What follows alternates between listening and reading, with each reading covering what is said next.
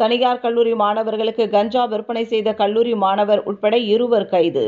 சென்னை பல்லாவரம் அடுத்த ஆட்டுத்தொட்டி பகுதியில் கஞ்சா விற்பனை நடப்பதாக பல்லாவரம் சட்டம் ஒழுங்கு ஆய்வாளர் தினேஷிற்கு தகவல் கிடைத்தது. அதன் பேரில் ஆய்வாளர் தினேஷ் தலைமையிலான காவல்துறையினர் அங்கு கண்காணிப்பில் இருந்தபோது கஞ்சா விற்பனையில் ஈடுபட்ட நபரை கையும் களவுமாக பிடித்தனர்.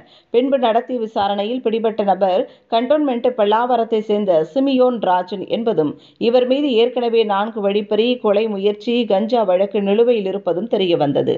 மேலும் வெளி மாநிலத்திலிருந்து கஞ்சாவை கடத்தி வந்து பல்லாவரம் கட்டபொம்மன் நகரில் விடுதி ஒன்றில் அறையெடுத்து தங்கி வரும் பிரபல தனியார் கல்லூரி மாணவர் ஜெயசூர்யாவிடம் கொடுத்து கல்லூரி மாணவர்களுக்கு விற்பனை செய்து லாபம் பார்த்து வந்துள்ளனர். அதற்கு பதிலாக ஜெயசூர்யாவிற்கு கஞ்சா புகைப்பதற்கு கொடுத்ததாக தெரிவித்தனர். அதன் பேரில் கல்லூரி மாணவர் ஜெயசூர்யாவை கைது செய்த பல்லாவரம் காவல்துறையினர் அவர் அறையிலிருந்து கஞ்சா ஒரு கத்தி ஆகியவற்றை பறிமுதல் செய்தனர். இருவரிடமிருந்து மொத்தம் ஒன்று புள்ளி ஐந்து கிலோ கஞ்சா பறிமுதல் செய்யப்பட்டது.